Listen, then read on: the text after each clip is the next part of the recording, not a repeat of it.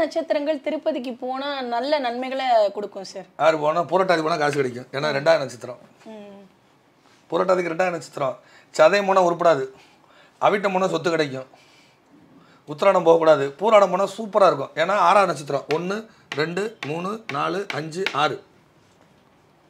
பூராட நட்சத்திரம் போனால் அருமையாக வேலை செய்யும். மூளை போனாங்கன்னா உருப்படாது. அதே மாதிரி கேட்ட போனால் சூப்பராக இருக்கும். கேட்டக்கு அது எட்டாவது நட்சத்திரம். ஒன்று ரெண்டு மூணு நாலு அஞ்சு ஆறு ஏழு எட்டாம் நட்சத்திரம். அருமையாக இருக்கும். கேட்டைக்கலாம். சும்மா விவரம் தெரியாமல் எல்லாரையும் டாமினேட் பண்ணி பேசுகிறது என்னுடைய வழக்கம் அல்ல என்னுடைய ஜோதிடத்துறையை பொறுத்த வரைக்கும் நான் ரொம்ப ஆய்வு பண்ணி ரொம்ப பயிற்சி எடுத்து மிலிட்ரி ட்ரைனிங் மாதிரி எடுத்து போலீஸ் ட்ரைனிங் மாதிரி எடுத்து தான் நான் வந்திருக்கிறேன். ஒரு கருத்துக்கு எதிர்கருத்து நான் தெரிவிக்கிறது யாருக்கும் கிடையாது. நான் யாருடைய ஜோட சித்தாந்தத்தையும் நான் குறைச்சி பேசுகிறதில்ல ஸோ நான் திருப்பதி போகக்கூடாங்கிறத பற்றி நிறைய பேர் வந்து போகலாம்னு சொல்லி தவறாக வழி நடத்துகிறார்கள். போய் அனுபவப்பட்டவங்க நீங்களே சொல்லுங்கள் நிறைய பேர் பார்த்த கிளைண்ட்டு திருப்பதி போயிட்டு வந்தாங்க. பிரச்சனை செஞ்சேன் நிறைய பேர் என்கிட்ட சொல்லியிருக்காங்க. ஒரு நாளைக்கு ஒருத்தரை சந்திக்கிறதுல நிறைய பேரை சந்திக்கிறேன். ஒவ்வொரு ஜாதகத்தையும் நான் ஃபைல் பண்ணி வச்சுக்கிட்டு வர்றேன். சரி இப்போ அனுச நட்சத்திரம் போலாமா சார் ஏன்னா என்னுடைய நட்சத்திரன்றதுனால எனக்கு ஒரு எண்ணிக்கோங்க நீங்களே. ஒன்று ரெண்டு மூணு நாலு அஞ்சு ஆறு ஏழு எட்டு ஒம்பது போகக்கூடாது. அனுசம் போகக்கூடாது. வேணா போய் பாருங்க. ஒரு படத்தில் சொல்லுவார் நீ தான் தைரியமான ஆளச்சே சொல்லு சொல்லித்தான் பாருன்னு வாங்கல. அது மாதிரி போய் இல்ல நான் வந்து கடந்த ஒரு வருஷத்துக்குள்ள ரெண்டு தடவை நானே வந்து திருப்பதிக்கு போயிட்டு வந்தேன். போயிட்டு வரும்போது ஒரு முறை வந்து எனக்கு ஒரு நல்ல விஷயங்கள் நடந்தது. இருந்தாலும் கூட உடலுக்கு வந்து உடல் ரீதியா வந்து சின்ன சின்ன பிரச்சனைகள் இருந்தது. ஆனா நான் சுபகாரியம் பெருசா- நடக்காது.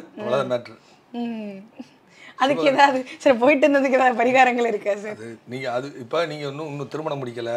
இன்னும் நீங்க வந்து ஒரு ஒரு குடும்ப வாழ்க்கைன்னு உள்ள போகல. அதுக்குள்ள போகும்போது போய் பாருங்க. புரியுதுங்களா? இப்படிலாம் இருக்கு. எந்த கோவிலுக்கு போனா நமக்கு வந்து நன்மைகள் இன்னும் அதிகமாக அப்படி இல்லை. இது வந்து குபேரன் எங்க இருக்கிறாருன்னு சொல்லி ஒரு விஷயம் இருக்கு.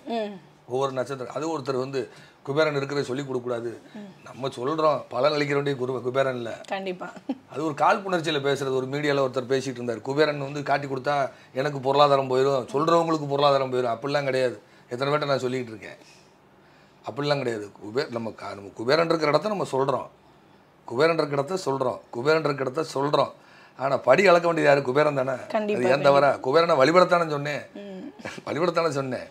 கண்டிப்பாக குபேரன் கொடுப்பார். கொடுக்காமலாம் போக மாட்டார். எல்லாருக்கும் படி அளப்பார். உதாரணமாக சொல்கிறதா இருந்தால் பூராட இருக்கு இல்லையா? பூராட நட்சத்திரம் இருக்கு இல்லையா? இதுக்கு குபேரன் எங்கே இருக்காருன்னா கோயம்புத்தூர்ல தண்டு மாரியம்மன் தான் பூராட நட்சத்திரம். பூராட நட்சத்திரக்காரர்களுக்கு கோவை தண்டு மாரி அம்மன் அதே மாதிரி கிருத்திகை நட்சத்திரத்துக்கு திருத்தணி முருகன். இப்படி ஒவ்வொன்றும் இருக்குது குபேரன் எங்கே இருக்காருன்னு. அது ஒரு கான்செப்ட் பெருசாக இருக்குது இதில் நட்சத்திரத்தை மட்டும் இல்லை கிரக அமைவை வச்சும் நான் சொல்கிறேன் ஏன்னா சந்திரன் தான் குபேரன். சந்திரன் எந்த கிரகத்தை தொடுகிறாரோ அந்த அதுக்கான கிரக சேர்க்கை தான் குபேரனாக வருகிறார்.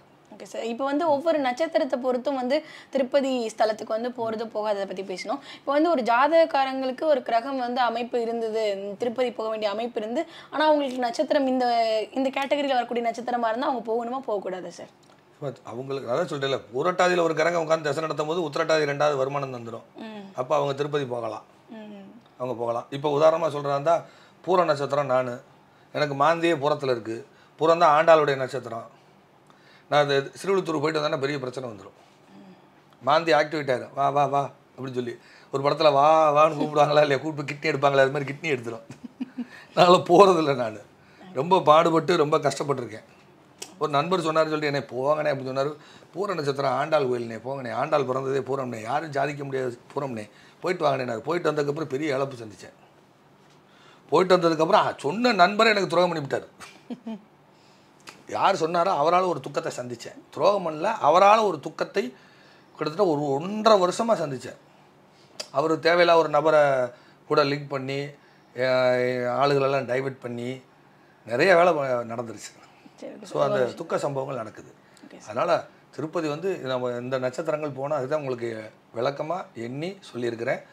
ஸோ அந்த திருப்பதி உத்திரட்டாதி நட்சத்திரம் திருப்பதிங்கிறத உங்களுக்கு அதை பிரிண்ட் அவுட் அந்த பிரிண்ட் வாரியாக புக்கு வாரியாக உங்களுக்கு இதில் கண்டிப்பாக அது போட சொல்கிறேன் அதை பாருங்கள் பாருங்கள் உத்திரட்டாதி நட்சத்திரம் திருப்பதின்னு போட்டிருக்கு. சார் இப்போ நீங்கள் வந்து அனுஷ நட்சத்திரம் என்னுடைய நட்சத்திரம் இங்கே வந்து திருப்பதிக்கு போகக்கூடாது அப்படின்னு சொல்லி சொன்னீங்க. நான் வந்து கரெக்டாக ஒரு ஒரு மாதத்துக்கு முன்னாடி போன மாதம் இருபத்தி எட்டாம் தேதி வந்து திருப்பதி போயிட்டு வரேன். சார் போகும்போது நல்லா தான் போயிட்டு இருந்தேன். திருப்பி வரும்போது வந்து கால் சுளுக்கு. அதாவது அந்த பாலாஜி அந்த பஸ் ஸ்டாண்ட்ல இருந்து பஸ்ஸுக்கு ஏற முடியாத அளவுக்கு எனக்கு கு- சுளுக்கு வந்தது.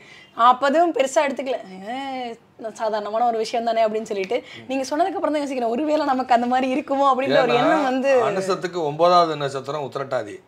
இந்த ஒன்பதாவது நட்சத்திரங்கிறது சலிப்பை ஏற்படுத்தக்கூடியது. மன சலிப்பை ஏற்படுத்தக்கூடியது. சீக்கிரம் அந்த இடத்த விட்டு வெளியேறி போவோமே. கை காலெல்லாம் வலியாகுதே. அப்படிங்கிற எண்ணம் அங்கே வந்துடும் பொதுவாக மூணு ஏழு அந்த அஞ்சு ஒம்போதெல்லாம் வந்து சலிப்பை தரக்கூடியது வததாரை கண்டதாரை விபத்து தாரைன்னு பேர். இது நிறைய பேர் அனுபவப்பட்டிருக்காங்க. போய் ஆக்சிடென்ட் ஆனலாம் இருக்குது சரி இப்போ வந்து இந்த நட்சத்திரக்காரங்கள் இந்த ஒரு பீரியடுக்கு மட்டும்தான் கோயிலுக்கு போகக்கூடாது திருப்பதிக்கு அப்படின்னு இல்லாம அப்படிலாம் இல்லை. Long life long life lifetime அந்த பக்கம் ஏரியாக்குள்ளே போக மாட்டேன் நான். ஒரு ரிஷபலக்கண ஜாதகம். நல்லா வாழ்கிறவங்க பழனிக்கு போயிட்டு வாங்க. என்ன விரயத்தை சந்திக்கிறீங்கன்னு அப்புறம் சொல்லுங்கள் ஒவ்வொரு கோவிலுக்குமே ஒரு எனர்ஜி ஏன்னா ரிஷபலக்கணத்துக்கு ஏழு கூடையவனே பன்னெண்டு கூடையவர் செவ்வா. ஏழு கூடையவரே பன்னெண்டு கூடையவர் செவ்வா. அவர் விரயத்தை தரக்கூடியவர். பன்னெண்டாம் இடங்கிறது எல்லாத்தையும் விட்டு போட்டு போன்னு வெளியே வெளியே வெளியே போகிறது பன்னெண்டாம் இடங்கிறது எல்லாத்தையும் விட்டுட்டு துறவரம் போகிறது தான் பன்னெண்டாம் இடம். பரதேசம் போகிறதுன்னு பேர் பழனி முருகன் என்ன கண்டிஷனில் இருக்கார்? அப்பா விட்டுவிட்டாரு அம்மா விட்டுவிட்டாரு எனக்கென்று ஒரு நாடு எனக்கென்று ஒரு மக்கள் முடித்தால் என்னை அங்கு வந்து பாருங்கள்ட்டு பழனியில் போய் நிற்காரு நிற்காரு ரிஷபலக்கணம் போனாங்கன்னா கண்டிப்பாக விரயம் உண்டு.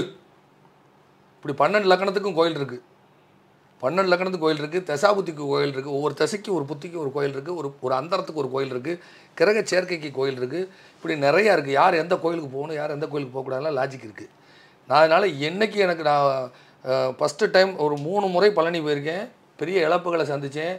கோவனாண்டி ஆனேன் ஊரை விட்டே போயிட்டேன். ஊரை விட்டே மூணு ஊர் இடம் மாறி கடைசிக்கு அந்த முருகனையே பாத யாத்திரை நடந்து போய் பாவத்தை கழித்தேன். அதுக்கு பிறகு கோயம்புத்தூர்ல வந்து நல்ல நிலைக்கு வந்த பிறகு ஒரு நண்பருடன் போய் நம்ம கணக்கப்படி சித்தரை பார்க்கணும். யோ வச்சுக்கோம்பியா முருகனை என்னை கூப்பிடாத அப்படின்னு. பழனி முருகனை மட்டும் என்கிட்ட கூப்பிடாத. அது இல்லை நீங்கள் வாங்க தலைவரை என்னன்னு சொல்லி நீ வம்பு நீ கூட்டு போனாப்புல. அதுக்கு பிறகு தான் எனக்கு அழிவு ஆரம்பமானது. ரெண்டாயிரத்தி பதினாலில் அவரை போய் சந்தி பதிமூணில் போய் அவரை கணக்கப்படி சித்தரை பார்த்துட்டு பழைய முருகன் கோயிலே காலை வச்சேன் அத்தனை வழக்கு வம்பு வீடு வீடெல்லாம் விற்று தெருவு கொண்டு வந்துச்சு. அதுக்கு முன்னாடி எனக்கு தெரியும் பழனி போனால் பாதிப்பு வரும்னு. இன்னைக்கு வரைக்கும் பழனி ஊருக்குள்ளேயே நான் போக மாட்டேன். அந்த அப்படியே பாடலில் அப்படியே குதிரை கடிவாளம் போட்ட மாதிரி இந்த பக்கம் கை கையை பொத்திக்கிட்டே போயிடுவேன் இது உண்மை அனுபவிச்சு சொல்லுதேன் இது ஜோதிடம் என்பது அனுபவமே. கண்டிப்பாக. புரியுதுங்களா? ஸோ இது செய்யலாம். சரி இப்போ வந்து முருகன் வந்து அங்கே எல்லாத்தையும் இழந்துட்டு நான் ஒரு தனியாளா நிற்கிறேன்ற மாதிரி நிற்கிறதுனால தான் வந்து இந்த மாதிரி பிரச்சனைகள் வருதா? இல்லை ஒரு ராஜ குளத்துல இருக்கும்போது பார்த்தா இந்த பிரச்சனைகள்லாம் சரியாகுமா? அவரோட நேச்சரே கோவனாண்டி. நம்ம தான் அவருக்கு அலங்காரம் பண்ணிட்டு அழகு பார்த்துட்டு கிடக்கும். அவர் எதுவுமே வேணாம்ட்டு வந்திருக்காரு. அப்பா அம்மாவோட சண்டையை போட்டு ஒரு பழத்துக்காக கோச்சிட்டு மயிலேறி அங்கே வந்தவர் தான். அவைக்கு பாடம் சொன்ன அவைக்கே பாடம் சொன்னவர் அவர். இது யார் ரிஷபலக்னம் யார் போனாலும் நிச்சயம் விரயம் உண்டு உண்டு உண்டு உண்டு. ஏதாவது ஒன்று இழப்பாங்க அல்லது ஏதாவது ஒரு கர்ம செலவு வரும் ஹண்ட்ரட் பர்சன்ட் இழப்பாங்க. என்னைக்கு நான் பழனி போகிறது இதே திருச்செந்தூர் போனால் வேலை செய்யும். ஏன்னா நான் பூர நட்சத்திரம். பூர ஒன்று உத்தரம் ரெண்டு அதுக்கப்புறம் பார்த்தீங்கன்னா ஹஸ்தம் மூணு சித்திரை நாலு சுவாதி அஞ்சு விசாகம் ஆறு ஆறாவது நட்சத்திரம். திருச்செந்தூர் போனால் சூப்பர் எனக்கு. இன்னொன்று நான் பிறந்ததே பத்திரகரணம். பிறந்ததே பத்திரகரணம். பத்திரகரணத்துடைய சிறப்பு என்னென்னா திருச்செந்தூர் போகாமலே வேலை செய்ய வைக்கலாம். ஏன்னா பத்திரகரணம் சேவல் கோழி. பொதுவாக பத்திரகரணம் திருச்செந்தூர் போகணும்னு அவசியம் இல்லை. கரணநாதன் அந்த கோயிலுக்கு போகணும்னு அவசியம் இல்லை. பத்தரை கோழியாக நீங்கள் இருந்தால் எந்த கோயிலுக்கு போகணும்னு அவசியம் இல்லை. கோழி என்ன செய்யும்? காலைல வெள்ளனை எந்திரிக்கும். கொக்கரக்கோன்னு கூவும். காலைல வெள்ளனை எந்திரிச்சிடும் அதே மாதிரி அதிகாலையில் எந்திரிக்க பத்திரக்கரணை செயல்படும். அதிகாலையில் எல்லாத்தையும் எழுப்புதா இல்லையா கூவி? அதிகாலையில் கூவி எழுப்புதா இல்லையா? கோழியை போல் சுறுசுறுப்பாக இருக்கணும் தேடிக்கிட்டே இருக்கணும். கோழி என்ன பண்ணும்? குப்பையை கலைச்சிக்கிட்டே இருக்கும். குப்பையில் தான் கோமேதகம் இருக்குது நான் பத்திரக்கரணம் தேடிக்கிட்டே இருப்பேன். தேடிக்கிட்டே இருப்பேன். முருகனுடைய கொடியில் என்ன இருக்குது சேவர் கொடியோன்னு தான் அவருக்கு பேர். தேடிக்கிட்டே இருப்பேன். அதே மாதிரி சண்டை கோழி இருக்கா இல்லையா? ஃபைட் பண்ணிகிட்டே இருக்குமா இல்லையா? ஆக்டிவ் பண்ணிகிட்டே இருக்கும். இந்த பத்திரக்காரனம் ஒரு இடத்துல இருக்கக்கூடாது. செயல்பட்டுக்கிட்டே இருக்கணும். இப்படி நிறைய இருக்குது ஜோதிடத்தில் விதிகள் நிறையா இருக்குது அந்த விதிகளை கரெக்டாக கடைப்பிடிச்சிட்டோம்னா நம்ம ஜெயிக்கலாம். இதான் உண்மை. இது யாரையும் புண்படுத்துறதுக்காக சொல்லலை. நான் சொன்ன சித்தாந்தத்துக்கு எதிர்கருத்து தெரிவிச்சாங்கங்கிறனால அதை எக்ஸ்பிளைன் பண்ணி மக்கள் முன்னாடி சொல்கிறேன் அனுபவம் தான் ஜோதிடம். கண்டிப்பா கண்டிப்பா. சார் இப்படி ஒவ்வொரு நட்சத்திரங்களுக்குமே ஒவ்வொரு கோவில் உண்டு. ஒவ்வொரு கோவில் வந்து பாதகத்தையும் கொடுக்கும். நிறைய சாதகத்தை கொடுக்கக்கூடிய கோவில்களும் இருக்கு. அந்தந்த நட்சத்திரங்களுக்கு பொருந்தக்கூடிய கோவிலுக்கு நம்ம போய் வணங்கணும் அப்படின்னா கண்டிப்பா அந்த நட்சத்திரங்களுக்குரிய நன்மைகள்லாம் நமக்கு கிடைக்கும் அப்படின்றத சார் ரொம்ப தெளிவா சொல்லியிருக்காங்க கண்டிப்பா இதை பார்த்துட்டு இருக்கக்கூடிய மக்களுக்கும் ரொம்ப பயனுள்ளதா இருக்கும்னு நம்புறோம். இதுக்கப்புறம் வந்துட்டு ஒவ்வொரு நட்சத்திரங்களுக்கும் என்னென்ன மாதிரியான கோவிலுக்கு போகணும் அந்த கோவிலுக்கு போனா என்னென்ன மாதிரியான நன்மைகள் கிடைக்கும் அந்த மாதிரியான வீடியோக்களை தொடர்ந்து பதிவிடலாம். ரொம்ப நன்றி சார். நன்றி தாய் நன்றி தாய்.